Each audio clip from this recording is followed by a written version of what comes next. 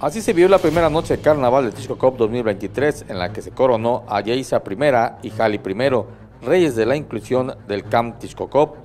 También se contó con la participación del Jardín de Niños María Isolina Rosado y la coronación de Tete I y Julio I, reyes de la juventud acumulada.